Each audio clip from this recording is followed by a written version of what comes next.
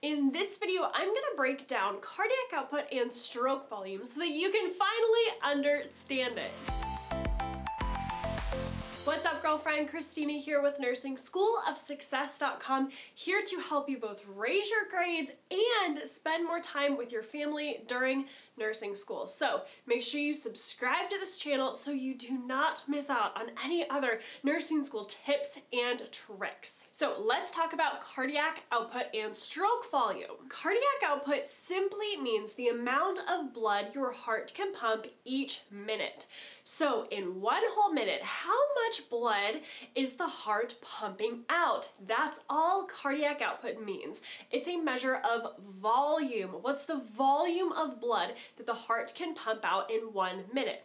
Now, here's where things can get a little confusing, but stay with me. You're going to understand it better after this. So cardiac output has a fancy pants equation and it goes like this. Cardiac output equals the heart rate multiplied by the stroke volume. See, I told you it would be confusing, but do not worry, let's break it all down. So we already know that cardiac output simply means how much blood the heart can pump out in one minute. Now, heart rate is the rate the heart beats. How many contractions does the heart have in one minute? So that is the heart rate. How many times the heart beats or contracts in one whole minute. Now, during each of these heartbeats, the heart pumps out blood, right? And that is stroke volume. Stroke volume is the amount of blood that the heart pumps out during each beat, not each minute because that's cardiac output.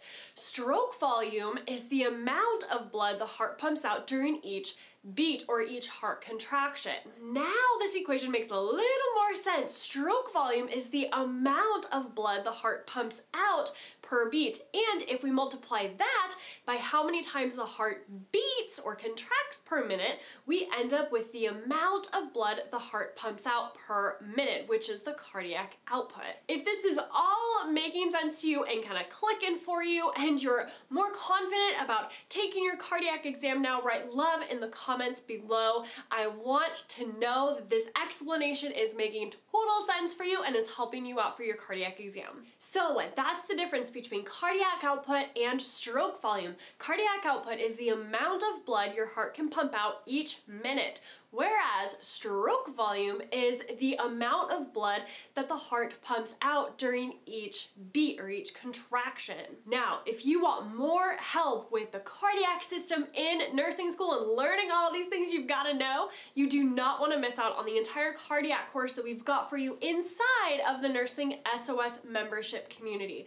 This is a game changer for you in nursing school. If you're struggling with understanding all these concepts and the cardiac system and cardiac disorders like heart failure, shock, and cardiomyopathy, then the cardiac course inside of the Nursing SOS membership community will totally help you out a ton.